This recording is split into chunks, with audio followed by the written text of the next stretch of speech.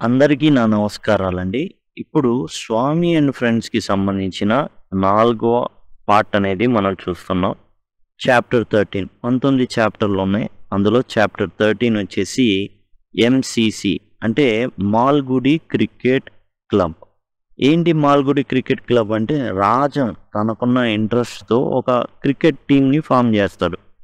ఈ టీంలో ఏంటంటే వాళ్ళకి కావాల్సిన మరి టీం అంటే 11 మంది ఉంటారు. వాళ్ళకి కావాల్సినటువంటి క్రికెట్ సరంజామా అంతా కావాలి. టోటల్ ఇలా కావాల్సినప్పుడు ఖచ్చితంగా ఒక కంపెనీకి రాలి మాకు ఇన్ని బ్యాట్లు కావాలి, కావాలి అనేసి. అయితే వాళ్ళు రాస్తారు కానీ దాని నుంచి సరైన రెస్పాన్స్ అనేది రాదు. డబ్బులు చెల్లించమని వచ్చింది వీళ్ళకంతా స్తోమత అదే అనేది ఉండదు. మామూలుగా ఎలా ఆడతారంటే ఒక గోడకే వికెట్లు గీసేసి చిన్న బ్యాట్లు ఉంటాయి కదా! చెక్కయి వాటితో వీళ్ళు ఆడడం అనేది స్టార్ట్ చేస్తారు.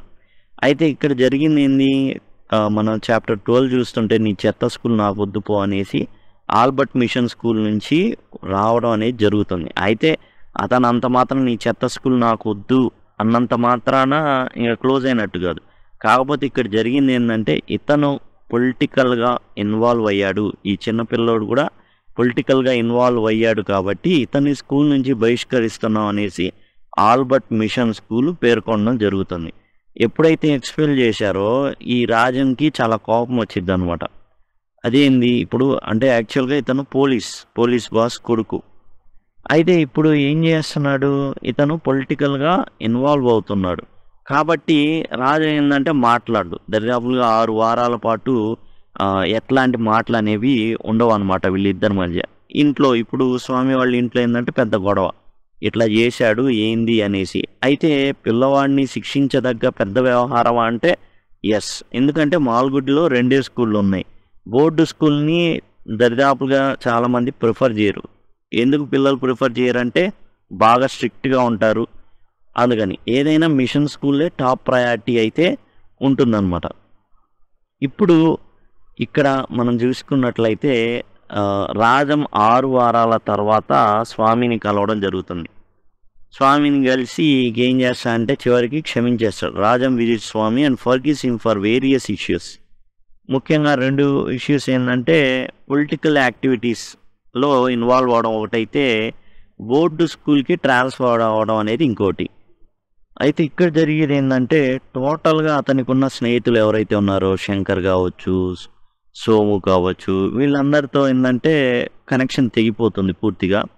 ఒక రాజం, మని మాత్రం అటాచ్ అయ్యి ఉంటారు ఇతనికి. అంటే ఆ స్నేహం అనేది కొనసాగుతూ ఉంటుంది. అయితే ఇక్కడ ఒక క్రికెట్ క్లబ్‌ని స్టార్ట్ చేయడం, వీళ్ళు ఏంటంటే దానికోసం ప్రాక్టీస్ చేయడం ఇలా జరుగుతుంది. మనం ముందే చెప్పుకున్నాం ఈ బోర్డ్ స్కూల్ అనేది చాలా చాలా స్ట్రిక్ట్ స్కూల్. నాలుగున్నరకి బెల్లు కొడతారు. బెల్లు కొట్టిన తర్వాత కూడా ఏందంటే డ్రిల్ పీరియడ్స్ ఇవన్నీ ఉంటాయి. వాటిలో పార్టిసిపేట్ చేయాలి. ఇంటికి మాత్రం పంపించడం అనేది జరగదు.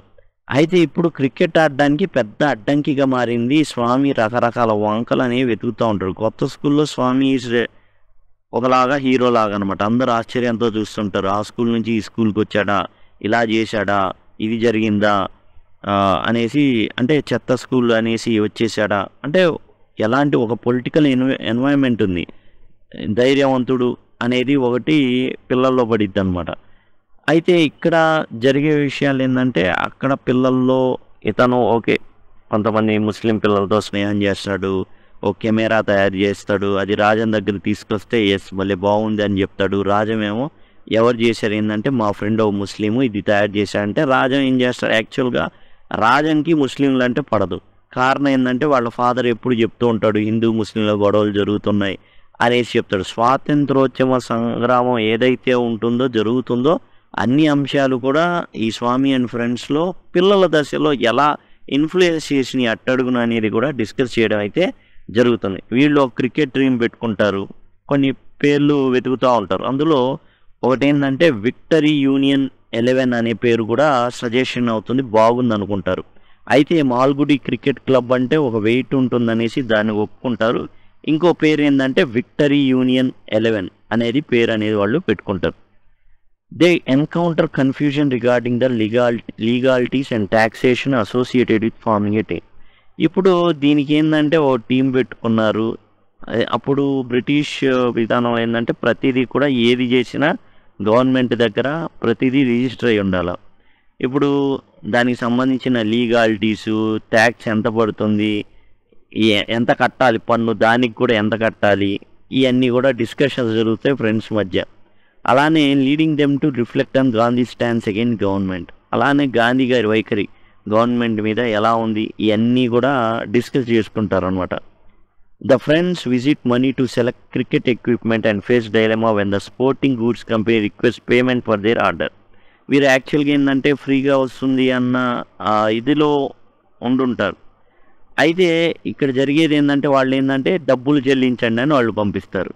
డబ్బులు చెల్లించాలంటే అంత డబ్బులు ఎక్కడ ఉంటాయి? అడుగుతారు కానీ అసలు స్వామి ఒక ఆరు పైసల దగ్గరే ఆరు రూపాయల దగ్గర చాలా చాలా కష్టపడాల్సి వచ్చింది. ఇవన్నీ ఉంటాయి. అలాంటిది ఈ స్పోర్ట్స్ మొత్తం ఇవన్నీ ఉన్నాయంటే పేరెంట్స్ నుంచి సపోర్ట్ అయితే దొరకదు. వాళ్ళు ఏం చేస్తారంటే ఆ లెటర్ని రిటర్న్ చేసేస్తారు. ఈ ఏంటంటే ఆ మిస్టేక్ పంపించారేమో మనం ఒక క్రికెట్ పెట్టాం మనకు ఫ్రీగా సంథింగ్ అట్లా ఇస్తారు కదా అన్న ఇందులో ఇదిలో ఉంటారు వాళ్ళు. అయితే అదంతా కుదరదు. వీళ్ళు ఏవైతే బ్యాట్లు డమ్మీ బ్యాట్లు మామూలుగా చేసుకున్న బ్యాట్స్ గోడని గోడ మీద వికెట్లు గీసుకొని ఆడడం అయితే జరుగుతుంది. ప్రాక్టీస్ చేస్తూ ఉంటారు. స్వామికి పెద్ద అలవాటు ఉండదు ఈ గేమ్ ఆడడం ఇవన్నీ. కాకపోతే రాజంతో ఆడుతుంటాడు. ఫస్ట్ బాల్కే రాజంని క్లీన్ బౌల్డ్ చేస్తాడనమాట దాంతో అతనికి డేట్ అని పెడతారు. ఆ ఆ పేరుని చాలా గొప్పగా చెప్పుకుంటాడనమాట వాళ్ళ మదర్ వాళ్ళ గ్రానీకి.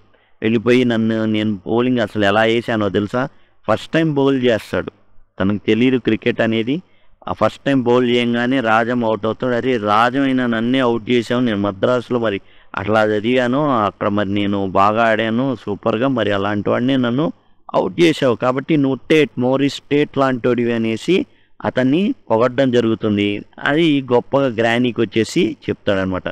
చాప్టర్ ఫోర్టీన్ వచ్చేసి ఇక్కడ స్కూల్లో గ్రానీ షోస్ ఆర్ ఇగ్నోరెన్స్. ఇందులో ఏంటంటే స్కూల్లో ఏదైతే ఉందో బర్డెన్ భయంకరంగా పెరిగిపోతుంది. చాలా హోంవర్క్ ఉంటుంది మ్యాండేటరీ డ్రిల్ ప్రాక్టీసెస్ ఉంటాయి స్కౌట్ క్లాసులు ఉంటాయి. ఇది విపరీతంగా అంతకుముందు లేని కరికులం అంతా కూడా ఇక్కడ యాడ్ అవుతుంది. ఇతను ఏంటంటే చాలా ఇబ్బంది పడుతుంటాడు. గేమ్కి వెళ్ళాలి ఆడాలి స్నేహాన్ని కాపాడుకోవాలి.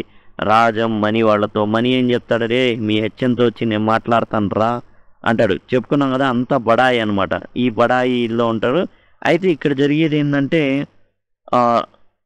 రాజం కూడా వెళ్తాడు అనమాట స్కూల్కి. ఎట్లయినా మాట్లాడి ఒప్పిద్దాం. మరి స్వామి ఉండాలి ఎట్లయినా బౌలింగ్ చేయాలి.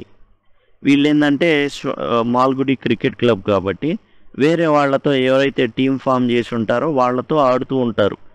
ఏంటంటే ఒక ఇంటిటీ మేము గొప్పగా ఇది చేస్తున్నాం అనేసి చెప్పుకోవడానికి. ఇప్పుడు ఇతను ప్రాక్టీస్కి రావాలి. స్వామి ఏం చేస్తుంటాడంటే ఏదో ఒక వంక చెప్పేసి స్కూల్ నుంచి తప్పించేసుకొని వస్తూ ఉంటాడు. నాలుగున్నరకి డైరెక్ట్గా హెచ్ఎం గారిని పర్మిషన్ అడిగితే ఇవ్వడం అనేది జరగదు. కాబట్టి కడుపులో నొప్పి అదని చెప్పి డ్రిల్ మాస్టర్ దగ్గర దగ్గర ఏదో ఒకటి చెప్పేసి ఎస్కేప్ అవుతూ ఉంటాడు. వెళ్ళిపోయి క్రికెట్ ఆడుతుంటాడు. ఓ రోజు రాజం గట్టిగా చెప్తాడు నువ్వు లేటుగా అవుతున్నావు ఇలా అయితే కుదరదు అనేసి. ఈ అలా అన్నప్పుడు ఏం చేస్తాడంటే స్కూల్ మానేస్తాడు ఒంట్లో బాగోలేదు నాకు అనేసి స్కూల్ మానేసి పడుకొని ఉండేసి సాయంత్రం ఏదైతే టైం ఉందో ఆ టైంకి వెళ్తాడనమాట. ఇక ఈ క్రమంలో ఏంటంటే స్వామి తన గ్రానీని నెగ్లెక్ట్ చేస్తుంటాడు. Swami feels guilty for neglecting his grandmother's request for lemon to soothe her stomach pain. తన నాయనమ్మకి ఏంటంటే కడుపులో నొప్పిగా ఉంటుంది. ఒక ఆరు పైసలు ఇచ్చేసి నిమ్మకాయలు తెమ్మనికి ఎందుకు ఈ నిమ్మకాయలు వెంటనే తొందరగా తేవాలి? నేను ఒక పది లెక్క పెట్టేలాగా నువ్వు ఉండాలంటే నీ డబ్బులు వద్దు నేను నిమ్మకాయ తేను వద్దు నేను క్రికెట్కి వెళ్ళిపోవాలని ఏం చేస్తాడంటే వెళ్ళిపోతాడు. కానీ వెళ్ళిపోయిన తర్వాత క్రికెట్ ఆడిన తర్వాత చాలా బాధ వేసిద్ది అనమాట స్వామికి. అరే అరే అరే నాయనమ్మ రమ్మంది నేనేంది ఇలా చేసేసాననేసి నిమ్మకాయ తీసుకొస్తాడు. అప్పటికి నాయనమ్మని కలిస్తే నా కడుపులో నొప్పి తగ్గిపోయిందిలే నాయన అంటే కొంచెం ఫీల్ అయ్యి ఇక వంటింట్లో ఇచ్చేస్తాడనమాట ఆ నిమ్మకాయ. అట్లా ఏంటంటే ఇతనికి క్రికెట్ అనేది అంత మోజు ఇదైపోతుంది. ఫ్రెండ్స్తో ఎలా అయినా ఉండాలి ఫ్రెండ్స్తో ఆడాలి రాజం యొక్క ఫేవర్ అనేది పొందాలి అనేసి ఇదవుతూ ఉంటాడు. అయితే ఇక్కడ ఏంటంటే చెప్తుంటాడు గ్రానీకి నేను క్రికెట్ ఇలా ఆడాను అలా ఆడాను. కానీ గ్రానీకి అంత నాలెడ్జ్ ఉంటుంది. He's dismayed by her lack of knowledge about cricket cricket పట్ల తనకు అంత నాలెడ్జ్ లేదు. ఆ రోజుల్లో ఏంటంటే బ్రిటిష్ ఇండియా కాబట్టి వాళ్ళు ఆడుతుండబట్టి అది మనకు అలవాటు అయింది మన సాంప్రదాయంగా మనకు వస్తున్న ఆట కాదు ఎవరికి తెలియదు కూడా గ్రానికి కూడా తెలియదు. ఇతను మాత్రం గొప్పగా చెప్తూ ఉంటాడు. అండ్ తనకి ఎట్లాంటి జ్ఞానం లేకపోయేసరికి ఆశ్చర్యపోతుంటాడు అండ్ విచారపడుతుంటాడు. నన్ను మోరీ స్టేట్తో పోల్చారు చూసా నేను అసలు బౌలింగ్ వేస్తే వికెట్లు వికెట్లు తీసా అన్ని తీసా అని గొప్పగా చెప్పుకుంటూ ఉంటాడు. ఇక కాన్ఫ్లిక్ట్ విత్ రాజం. ఇక్కడ జరిగేది ఏంటంటే లేటుగా వస్తుంటాడు. నాలుగున్నరకి పంపించడం అనేది జరగదు. నాలుగున్నర బిల్లు కొట్టిన తర్వాత. ఏదో ఒకటి ఎన్సి ఏదైతే స్కౌట్స్ ఉందో ఎన్సీసీ మామూలుగా మనం ఇప్పుడు స్కౌట్స్ కానివ్వండి డ్రిల్ పీరియడ్స్ కానీ ఇవన్నీ కూడా ఉంటాయి అన్నమాట అవన్నీ అయిన తర్వాతే వెళ్ళాలి. అప్- ఆ వాటికి ఏమవుతుంది? చీకటి పడుతుంది. అసలు నువ్వు ప్రాక్టీస్ చేయకపోతే ఎట్లా? నీకు తెలియదు బౌలింగ్ వేస్తున్నావు ఇప్పుడిప్పుడే. సరే నన్ను టీంలో నుండి తీసే అంటాడు స్వామి. అలా కుదరదు నువ్వు ఉండాలి నువ్వు లేకపోతే ఎట్లా నన్నే క్లీన్ బోల్డ్ చేసిన గొప్పడి నువ్వు మౌరి మౌరి స్టేట్ లాంటి వాడివి. నిన్నెట్లా వదులుకుంటా? నువ్వు కూడా రావాల్సిందే అని చెప్పేసి ఏం చేస్తానంటే హెచ్ఎం గారిని కూడా కలుస్తాడు. హెచ్ఎం నో అని చెప్తాడు. నేను ఎవరినో తెలుసా? డిఎస్పి కొడుకుని అంటాడు రాజా. నువ్వు డిఎస్పి కొడుకు కాదు ఎవరి కొడుకు అయినా నాకు అనవసరం. నేను మాత్రం పంపించేది లేదు. కానీ స్వామి మాత్రం ఎగేస్తూ ఉంటాడు ఎగనామాలు పెడతా ఉంటాడు. బాగోలేదు అది ఇదని డాక్టర్ దగ్గరికి వెళ్ళిపోయి ఆ డాక్టర్ గారు డాక్టర్ గారు మీరు మా హెచ్ఎం గారితో మాట్లాడండి నన్ను క్రికెట్ మ్యాచ్కి పంపించలేదు ఇట్లా డాక్టర్ గారితో చెప్తాడనమాట డైరెక్ట్గా. డాక్టర్ గారు మీరు ఏం చేస్తారంటే మా హెచ్ఎం గారితో మాట్లాడండి. మాట్లాడి ఏదో ఒక రోగం ఉందని చెప్పేయండి నాలుగున్నర పంపించేయమని చెప్పండి. డాక్టర్ ఎందుకు మాట్లాడతాడు హెచ్ఎంతో? అది మనం చాప్టర్ ఫిఫ్టీన్లో బిఫోర్ ద మ్యాచ్ ఇవన్నీ కూడా జరుగుతూ ఉంటాయి.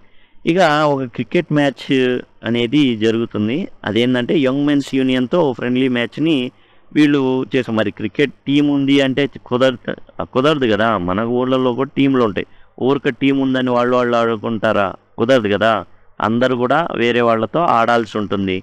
ఇందుకని యంగ్ మెన్స్ యూనియన్ అనేటటువంటి టీంతో వీళ్ళు ఫ్రెండ్లీ మ్యాచ్ పెట్టుకుంటారు. అయితే స్వామి అసలు ఇందులో ఈ ప్రాక్టీస్కి రావడం ఇవన్నీ కూడా కుదరదు. ఎందుకంటే మనం చెప్పుకున్నాం ఇవన్నీ కూడా స్కూల్ తొందరగా స్కూల్ నుంచి తొందరగా బయటపడాలంటే నాకు బాగోట్లేదు నిద్రపోలేదు సరిగా. కాబట్టి నాకు కొంచెం డెరీలియంగా ఉంది సరిగా కాన్సన్ట్రేషన్ చేయలేకపోతున్నాను నాకు నిద్ర పట్టలేదు నైట్. ఇట్లాంటి ఏవో ఒకటి చెప్పేసి బయటపడతా ఉంటాడు. అయితే జనరల్గా హెచ్ఎంఆర్ డైలీ ఇట్లా జరుగుతూ ఉంటే ఖచ్చితంగా మెడికల్ సర్టిఫికేట్ ఒకటి ప్రజెంట్ చేయమంటారు. డాక్టర్ గారిని కలుస్తాడు డాక్టర్ గారేమో ఇవ్వడానికి ససేమిరా అంటారు నీకేం లేనిది నేనెందుకు ఇస్తాను అనేసి. డాక్టర్ గారి నుంచి సర్టిఫికేట్ రాదు. కాకపోతే ఎట్లా అయినా సరే ఎగనామం పెట్టేసి పార్టిసిపేట్ చేస్తూ ఉంటాడు. ఇక ఒకరోజు రానే వచ్చింది హెడ్ మాస్టర్ గారితో లాలూచి పడే టైం వచ్చేసింది మళ్ళా. Swami's absence from drill practice leads to confrontation with the board school head drill period four thirty bell కొట్టంగానే drill period ఉంటుంది. చేయాలి. చేయకుండా వెళ్ళిపోతూ ఉంటాడు. ఇది హెచ్ఎం దృష్టికి వెళ్తుంది. హెచ్ఎం గమనిస్తూ ఉంటారు. ఒకరోజు రమ్మని పిలుస్తాడు. ఇక డాక్టరు దగ్గరికి వెళ్ళాడు. డాక్టర్ ఇలా చెప్తున్నారు. మరి డాక్టర్ గారిని డైరెక్ట్గా హెచ్ఎం గారితో మాట్లాడమన్నారు ఈ మాట్లాడే క్రమంలో అసలు డాక్టర్ ఎందుకు హెచ్ఎం దగ్గరికి వెళ్ళి ఎందుకు చెప్తాడు స్వామి ఏంటంటే ఓవర్ ఎంతూజియాజిస్టిక్ అనమాట ఇక అందుకని డాక్టర్ మాట్లాడు కదా హెచ్ఎం పిలిచి ఎందుకు రావట్లేదు ఏంది మరి నేను నేను డాక్టర్ సర్టిఫికేట్ తెమ్మన్నా కదా తీసుకొచ్చావా అని అడుగుతాడు. అడిగితే డాక్టర్ ఎందుకు మాట్లాడతాడు హెచ్ఎంతో? డాక్టర్కి ఏం పని? మాట్లాడరు. దాంతో మొత్తానికి బెత్తం తీసుకొని ఎరగేయడం మొదలు పెడతాడు హెచ్ఎం గారు. డాక్టర్ గారితో డాక్టర్ గారు మీతో మాట్లాడతానన్నారండి. ఇవన్నీ చెప్తే హెచ్ఎం ఎందుకు నమ్ముతాడు? బాధడం మొదలు పెడతాడు. వెంటనే ఆ కర్ర తీసుకొని కిటికీలో నుంచి ఇసిరేసి ఇంకా అక్కడి నుంచి పరుగో పరుగు అనమాట ఇక ఏంటంటే ఒక ప్రాబ్లం వచ్చింది. దాన్ని ఫేస్ చేసే క్రమంలో సడన్గా జరిగినటువంటి పరిణామాలు. కావాలని కాదు. ఆ యాక్చువల్గా ఒక స్కూల్లో నుంచి బహిష్కరించబడ్డాడు. మళ్ళీ ఈ స్కూల్ నుంచి కూడా ఇదే పరిస్థితి. దాంతో వాళ్ళ నాన్న ఎట్లయినా సరే ఇన్ని చావబోతాడు. గ్యారంటీ కొడతాడు ఈసారి.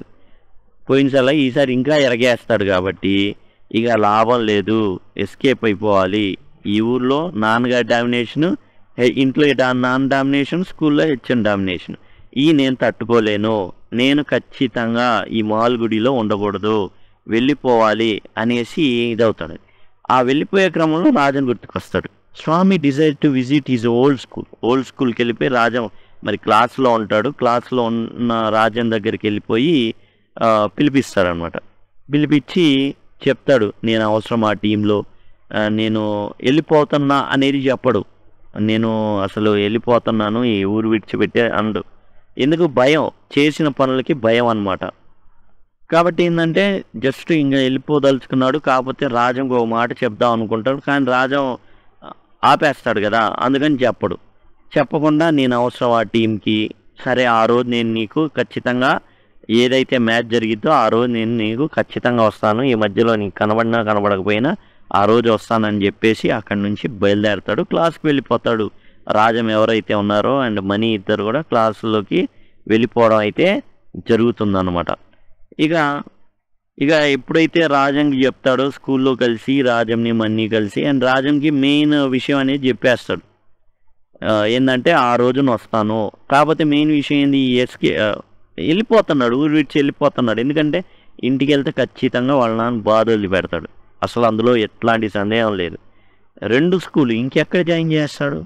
ఇంకెట్లా చదువుకుంటాడు? అది కూడా లాయర్ కొడుకు ఇతను.